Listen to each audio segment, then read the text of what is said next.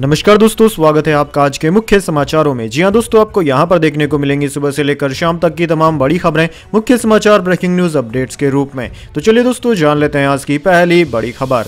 Wrestler Bajrang Poonia ने लौटाया प्रदमश्री प्रधानमंत्री आवास के सामने फुटपाथ पर रखा मेडल। जी हाँ दोस्तों, भारतीय कुश्ती महासंघ डब्ल्यूएफआई के चुनाव में ब्रजभूषण शरण सिंह के करीबी संजय सिंह के अध्यक्ष बनने के विरोध में रेसलर बजरंग पूनिया ने अपना पद्मश्री लौटा दिया है। उन्होंने शुक्रवार को प्रधानमंत्री आवास के सामने फुटपाथ पर अपना मेडल रख दिया। संजय सिंह के अध्यक्ष बनने के बाद बजरंग पूनिया, साक्षी मलिक और विनाश फोगाट समेत कई रेसलर नाराज़ हैं। ये रेसलर्स काफ़ी समय से ब्रजभूषण के खिलाफ प्रदर्शन कर रहे हैं। इन सभी की मांग थी कि रेसलिंग फेडरेशन ऑफ़ इंडिया के अध्यक्ष पद पर किसी महिला का होना चाहिए। इससे पहले बजरंग ने सोशल मीडिया पोस्ट करके इसकी जानकारी दी थी। पूनिया ने प्रधानमंत्री नरेंद्र मोदी को चिट्ठी भी लिखी थी। पूनिया ने ये चिट्ठी भी ट्विटर पर शेयर की है। बजरंग पूनिया ने पोस्ट के कैप्शन में लिखा कि, मैं अपना पद्मश्री पुरस्कार प्रधानमंत्री जी को वापस लौटा रहा हूँ। कहने के लिए बस मेरा यह पत्र है, यही मेरी स्टेटमेंट है। इसके बाद दोस्तों, अगली बड़ी खबर। ईडी ने सीएम अरविंद केजरीवाल को फिर भेजा समन। दिल्ली आबकारी नीति से जुड़ा है मामला।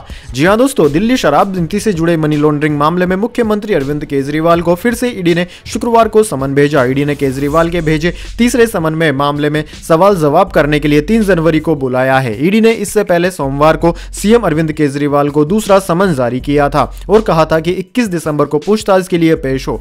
इस समन को आम आदमी पार्टी के राष्ट्रीय संयोजक अरविंद केजरीवाल ने राजनीति से प्रेरित करार दिया। ईडी ने यह समन ऐसे समय में जारी किया था जब वो 20 दिसंबर को विपक्षना के लिए रवाना होने वाले थे। इससे पहले केंद्रीय एजेंसी ईडी ने अरविंद केजरीवाल को दो नवंबर को समन भेजा था, लेकिन नोटिस को गैर कानूनी और राजनीति से प्रेरित बताते हुए वह पूछताछ में शामिल नहीं हुए थे। इस दिन केजरीवाल मध्य प्रदेश के विधानसभा चुनाव को लेकर यहाँ प्रचार करने पहुँच गए थे। इसके बाद दोस्तों, अगली बड़ी खबर। न्यू ईयर से पहले मनीष सिसोदिया को लगा झटका, अदालत ने उन्नीस जनवरी तक बढ़ाई न्यायिक हिरासत। जी हाँ दोस्तों, दिल्ली आबकारी नीति से जुड़े शराब घोटाले केस में आरोपी आम आदमी पार्टी के नेता मनीष सिसोदिया की मुश्किलें कम होने का नाम नहीं ले रही है। शुक्रवार को दिल्ली की राउज एवेन्यू कोर्ट ने उनकी न्यायिक हिरासत को फिर से बढ़ा दिया है। आम आदमी पार्टी नेता की हिरासत पूरी होने के बाद शुक्रवार को उन्होंने दिल्ली की रावज एवेन्यू कोर्ट में पेशी की गई थी, जहाँ से कोर्ट में उनकी हिरासत को 19 जनवरी तक के लिए बढ़ा दिया गया। इस दौरान कोर्ट ने आरोपी के अधिवक्ता को भी फटकार लगाई है और कहा है कि आप लोग जानबूझकर सुनवाई में देरी करना चाहते हैं। साथ ही अदालत ने सिसोदिया समेत अन्य आरोपियों की ओर से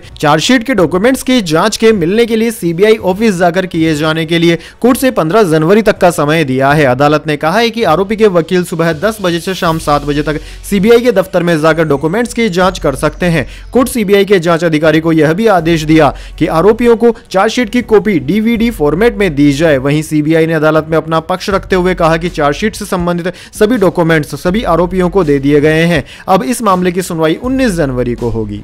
इसके बाद दोस्तों, अगली बड़ी अपडेट। कमर्शियल गैस सिलेंडर के दाम उनचालीस पॉइंट पचास रुपए घटे। दिल्ली में 19 किलो वाला गैस सिलेंडर अब सत्रह सौ सत्तावन रुपए में मिलेगा। घरेलू रसोई गैस सिलेंडर के दाम में कोई बदलाव नहीं। जी हाँ दोस्तों ऑयल मार्केटिंग कंपनियों ने शुक्रवार को कमर्शियल कुकिंग गैस यानी कि एलपीजी सिलेंडर जो कि 19 किलोग्राम वाला आता है, उसकी कीमत उनचालीस कम कर दी है। इंटरनेशनल बेंचमार्क यानी कि अंतरराष्ट्रीय मानकों में नरमी के चलते यह कटौती हुई है। इससे पहले राज्य के स्वामित्व वाली ऑयल कंपनियों ने एक दिसंबर को कमर्शियल एलपीजी की कीमत में इक्कीस रुपए की बढ़ोतरी की थी। दिल्ली में कमर्शियल एलपीजी की कीमत अब सत्रह रुपए हो गई है। वहीं दोस्तों कमर्शियल एलपीजी की कीमत अब मुंबई में सत्रह रुपए, कोलकाता में अठारह रुपए और चेन्नई में उन्नीस रुपए हो गई है। इसके बाद दोस्तों, अगली बड़ी खबर। प्रियंका गांधी ने बजरंग पूनिया और साक्षी मलिक से की मुलाकात, कहा, मोदी सरकार में हर कोई परेशान है। जी हाँ दोस्तों, बीजेपी सांसद ब्रजभूषण शरण सिंह के करीबी संजय सिंह को भारतीय कुश्ती महासंघ, यानी कि डब्ल्यू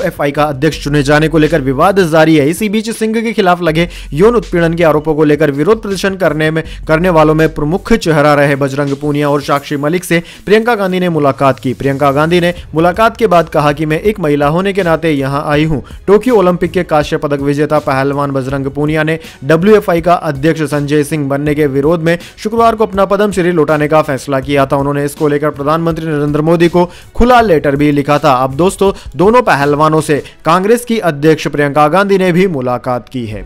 इसके बाद दोस्तों, अगली बड़ी खबर। सांसदों का सस्पेंशन, जंतर मंतर पर इंडिया का प्रदर्शन। राहुल गांधी बोले दो तीन युवा संसद में घुसे तो भाजपा सांसद भागे। देशभक्तों की हवा निकल गई। जी हाँ दोस्तों, संसद के एक सौ छियालीस विपक्षी सांसदों के निलंबन के खिलाफ शुक्रवार को इंडिया के नेता जंतर मंतर पर जुटे प्रदर्शन का नाम सेव डेमोक्रेसी प्रोटेस्ट, यानी कि लोकतंत्र बचाओ प्रदर्शन दिया गया। प्रदर्शन में लेफ़्ट पार्टियाँ डीएमके एनसीपी शरद पवार गुट Sapa national conference TMC, JMM, RJD समेत अन्य दल थे। दोस्तों, संसद में सुरक्षा चूक पर राहुल गांधी ने कहा कि जो लोग खुद के देशभक्त होने का दावा करते हैं, उनकी हवा निकल गई। कांग्रेस अध्यक्ष मल्लिकार्जुन खड़गे ने कहा कि मोदी शाह ने संविधान डेमोक्रेसी को खत्म करने का प्लान बना लिया है। वहीं दोस्तों, राहुल गांधी ने कहा कि कुछ दिन पहले संसद भवन में दो तीन युवा कूद अंदर आ गए थे। उन्हें कूदते हुए सबने देखा, वे अंदर आए, उन्होंने थोड़ा धुआँ फैलाया। भाजपा के सभी सांसद भाग गए, जो अपने आप को देशभक्त कहते हैं। उनकी हवा निकल गई थी। इसके बाद दोस्तों, अगली बड़ी खबर। सिसोदिया के बाद अब संजय सिंह को भी मिला झटका। जमानत याचिका हुई खारिज। जी हाँ दोस्तों, दिल्ली शराब घोटाले मामले में आम आदमी पार्टी के राज्यसभा सांसद संजय सिंह को कोर्ट से फिर बड़ा झटका लगा है। रावस एवेन्यू कोर्ट ने उन्हें जमानत देने से इनकार कर दिया। मनीष सिसोदिया के बाद अब संजय सिंह को भी जमानत नहीं मिली है। इससे पहले दिल्ली हाईकोर्ट ने संजय सिंह की गिरफ्तारी और ईडी रिमांड को चुनौती देने वाली याचिका खारिज कर दी थी। संजय सिंह ने मामले को राजनीति से प्रेरित बताया था। संजय सिंह ने अपने खिलाफ कोई मनी लॉन्ड्रिंग केस नहीं होने का तर्क भी दिया था, लेकिन ईडी ने कहा था कि मनी लॉन्ड्रिंग का स्पष्ट मामला बनता है। इतना ही नहीं, परिवर्तन निर्देशालय ने संजय सिंह को कथित शराब घोटाले का मुख्य साजिशकर्ता बताया था। जाँच एजेंसी ने कहा कि संजय सिंह रिश्वत वसूलने की साजिश का हिस्सा थे। उन्हें अपराध की रकम मिली थी। ईडी की एक और अहम दलील थी कि अपने राजनीतिक रसूख और पहुँच की वजह से संजय सिंह की ईडी के अफसरों और दस्तावेजों तक पहुँच आसान है। लिहाजा जमानत पर बाहर आने के बाद वह जाँच को प्रभावित कर सकते हैं। इसके बाद दोस्तों, अगली बड़ी खबर। संसद में घुसना आसान नहीं, आदित्य ठाकरे ने संसद हमले के आरोपियों को बताया खतरों के खिलाड़ी। जी हाँ दोस्तों, विधायक आदित्य ठाकरे ने एक मीडिया बातचीत में संसद के हमले के आरोपियों को खतरों का खिलाड़ी बताया। शुक्रवार को वह अपने आवास मातोश्री में मीडिया से बात कर रहे थे। इस दौरान आदित्य ने राम मंदिर का मुद्दा भी उठाया और कहा कि जिन लोगों ने राम मंदिर के लिए योगदान या बलिदान नहीं दिया, वे जाकर वहाँ श्रेय ले रहे हैं। वहीं उन्होंने कहा कि अंदर जाना और वेल में कूदना आसान नहीं है, लेकिन वे अपनी जान जोखिम में डालते हुए ऐसा करते हैं। मैं उनका समर्थन नहीं करता और यह गलत है। उन्होंने बेरोजगारी, मणिपुर घटना और अन्य मुद्दे उठाए, लेकिन सवाल यह है कि उन्हें किसने पास जारी किए? क्या उन सांसदों से पूछताछ की जाती है? हम सरकार से जवाब की उम्मीद करते हैं। इसके बाद दोस्तों, अगली बड़ी खबर। पुतिन की सहमति से हुई प्रिगोजिन की हत्या, रिपोर्ट में दावा। उनकी ताकत को खतरा मानते थे। प्लेन के विंग में बम रखकर उड़ाया। जी हाँ दोस्तों, रूस के राष्ट्रपति के खिलाफ विद्रोह करने वाले प्राइवेट आर्मी वैगनर के चीफ येवगेनी प्रिगोजिन को पुतिन की सहमति पर उनके ही करीबी ने मरवा दिया था। अमेरिकी अखबार वॉल स्ट्रीट जर्नल ने अपनी रिपोर्ट में यह खुलासा किया। रिपोर्ट के मुताबिक पुतिन के करीबी और रूस के सिक्योरिटी काउंसिल के सेक्रेटरी निकोलाई इस हत्या के मास्टर थे। डब्ल्यू ने बताया कि पेत्रुशेव कई बार पुतिन के सामने प्रेगोजिन के बढ़ते दबदबे को लेकर चिंता जता चुके थे। दरअसल दोस्तों, प्रेगोजिन कई बार खुलकर रूस के रक्षा मंत्री और मिलिट्री लीडर की आलोचना कर चुके थे। वो पेत्रुशेव को पसंद नहीं करता था। उन्हें लगता था कि प्रेगोजिन को ज़रूरत से ज़्यादा ताकत दी जा चुकी है। जब वैगनर चीफ ने तख्ता पलट करने की कोशिश की, तब पैतृशेव ने पुतिन के सामने उसे सजा देने का प्रस्ताव रखा। रूसी राष्ट्रपति ने इससे इनकार नहीं किया। इसके बाद दोस्तों, अगली बड़ी खबर। मोटिवेशनल स्पीकर विवेक बिंद्रा पर पत्नी से मारपीट का आरोप एफआईआर हुई दर्ज। जी हाँ दोस्तों international motivational speaker Vivek Bindra के खिलाफ पत्नी से मारपीट करने का मुकदमा दर्ज हुआ है। विवेक बिंद्रा यूट्यूबर के साथ साथ एक बड़े कारोबारी भी हैं। 6 दिसंबर 2023 को उन्होंने यानिका से शादी की और 14 दिसंबर को उनके खिलाफ मुकदमा दर्ज हुआ। विवेक बिंद्रा पर आरोप है कि उन्होंने पत्नी से जमकर मारपीट की। पुलिस का कहना है कि मामले की जाँच की जा रही है। विवेक विवेक का पत्नी से मारपीट का एक वीडियो भी सामने आया है। डॉक्टर विवेक बिंद्रा खुद को बिज़नेस गुरु बताते हैं। उनके यूट्यूब पर कई चैनल हैं। वो लोगों को मार्केटिंग और बिज़नेस के गुर भी सिखाते हैं। इसके बाद दोस्तों, जाने अगली बड़ी खबर, लेकिन उससे पहले मेरी आपसे छोटी सी रिक्वेस्ट है। अगर दोस्तों आपको अभी तक हमारी न्यूज़ पसंद आई है तो एक छोटा सा लाइक ज़रूर दे दीजिए। और अगर आपको पसंद नहीं आई है तो बेशक आप डिसलाइक भी कर सकते हैं। लेकिन लेकिन दोस्तों लाइक और डिसलाइक ज़रूर कीजिए, क्योंकि दोस्तों, यही हमारी मेहनत का फल होता है, और इसी से पता चलता है कि आपको हमारी वीडियोज़ पसंद आ रही है या नहीं। तो चलिए दोस्तों, जान लेते हैं आज की अगली बड़ी खबर। सेंसेक्स दो सौ इकतालीस अंक की तेज़ी के साथ इकहत्तर पर बंद। निफ्टी भी चौरानवे अंक चढ़ा। आईटी और रियल्टी सेक्टर में सबसे ज़्यादा तेज़ी। जी हाँ दोस्तों, हफ़्ते के आखिरी कारोबारी दिन, यानी कि शुक्रवार को शेयर बाज़ार में तेज़ी देखने को मिली। सेंसेक्स 241 अंकों की तेज़ी के साथ इकहत्तर के स्तर पर बंद हुआ। वहीं निफ्टी में भी चौरानवे अंकों की तेज़ी रही। यह इक्कीस के स्तर पर बंद हुआ। सेंसेक्स के तीस शेयरों में से बीस में तेज़ी और दस में गिरावट देखने को मिली। आई और रियल्टी सेक्टर में सबसे ज़्यादा तेज़ी रही। दोस्तों, बात करें निफ्टी फिफ्टी के टॉप गेनर और टॉप लूजर स्टॉक्स की तो दोस्तों, निफ्टी फिफ्टी के टॉप गेनर्स में विप्रो, एचसीएल टेक और बजाज ऑटो रहे, जबकि निफ्टी फिफ्टी के टॉप लूजर्स में ग्रासिम इंडस्ट्री एच बैंक और बजाज फाइनेंस रहे। इसके बाद दोस्तों, अगली बड़ी खबर। पोलीकेब इंडिया के 50 ठिकानों पर इनकम टैक्स की रेड मैनेजमेंट से जुड़े लोगों के घरों और दफ्तरों पर भी छापा, चार प्रतिशत गिरा शेयर जी हाँ दोस्तों केबल और वायर बनाने वाली कंपनी पोलीकेब इंडिया लिमिटेड के 50 से ज़्यादा ठिकानों पर इनकम टैक्स डिपार्टमेंट ने छापा मारा है। मीडिया रिपोर्ट्स के मुताबिक आईटी डिपार्टमेंट ने यह रेड कंपनी के मैनेजमेंट से जुड़े लोगों के घर और दफ्तरों पर की है। हालाँकि छापेमारी के कारणों की जानकारी अभी सामने नहीं आई है। दोस्तों, आपकी जानकारी के लिए बता दें, छापेमारी की खबरों के बाद कंपनी के शेयर में चार प्रतिशत की गिरावट देखी गई है। दो पर, दो बजकर अड़तीस मिनट पर 224 अंक गिरकर पाँच पर कारोबार कर रहा था। वहीं इसका मार्केट कैप गिरकर इक्यासी हज़ार करोड़ रह गया। कंपनी की ग्रोथ की बात करें तो बीते एक साल में इसके शेयरों में 105 प्रतिशत की बढ़ोतरी हुई है। वहीं इस साल यह अब तक 108 प्रतिशत की बढ़ोतरी कर चुका है। तीन साल में कंपनी के शेयर ने करीब 450 प्रतिशत का रिटर्न दिया है। इसके बाद दोस्तों, अगली बड़ी खबर। Thank you, my dear friend. गणतंत्र दिवस समारोह में मिला निमंत्रण तो बोले फ्रांस के राष्ट्रपति एम्यूनुअल मैक्रो। जी हाँ दोस्तों फ्रांस के राष्ट्रपति एम्यूनुअल मैक्रो ने गणतंत्र दिवस यानी कि 26 जनवरी 2024 समारोह में मुख्य अतिथि के रूप में शामिल होने को लेकर भारत से मिले निमंत्रण पर प्रधानमंत्री मोदी का धन्यवाद दिया। गणतंत्र दिवस समारोह में अब अमेरिकी राष्ट्रपति जो बाइडेन की बजाय फ्रांस के राष्ट्रपति एम्यूनुअल मैक्रो मुख्य अतिथि के रूप में शामिल होंगे। एम्यूनुअल मैक्रो ने शुक्रवार को अपने आधिकारिक एक्स हैंडल से एक पोस्ट में कहा कि आपके निमंत्रण के लिए धन्यवाद। मेरे प्रिय मित्र, भारत के प्रधानमंत्री मोदी जी, नरेंद्र मोदी जी, आपके गणतंत्र दिवस पर मैं आपके साथ जश्न मनाने के लिए रहूँगा। मैक्रो इस कार्यक्रम में शामिल होने वाले छठे फ्रांसीसी नेता होंगे। इसके बाद दोस्तों, अगली बड़ी खबर। सुप्रीम कोर्ट में इस साल दायर याचिकाओं से ज़्यादा का हुआ निपटारा। यह छह साल में सबसे अधिक बावन हज़ार फैसले आए। पिछले साल से इकतीस प्रतिशत फैसले ज़्यादा आए। जी हाँ दोस्तों, सुप्रीम कोर्ट ने 2023 में बावन हज़ार एक सौ इक्यानवे मामलों को निपटाया। पिछले साल शीर्ष कोर्ट ने उनचालीस हज़ार आठ सौ मामले निपटाए थे। दोस्तों, सुप्रीम कोर्ट ने यह जानकारी शुक्रवार को प्रेस रिलीज़ करके जारी की है। यह डेटा एक जनवरी से पंद्रह दिसंबर दो का है। प्रेस रिलीज़ में बताया कि इस साल कोर्ट ने पिछले साल की तुलना में बारह हज़ार, यानी कि इकतीस पॉइंट तेरह प्रतिशत ज़्यादा मामलों को निपटाया। यह पिछले छह साल में सबसे ज़्यादा है। हालाँकि यह नहीं बताया गया कि छह साल पहले कितने केस निपटाए गए थे। इसके बाद दोस्तों, अगली बड़ी खबर। सेबी ने दिया कैश सेगमेंट में शेयरों की ट्रेडिंग के लिए इंस्टेंट सेटलमेंट का प्रस्ताव। कंसल्टेंट पेपर जारी कर मांगे सुझाव।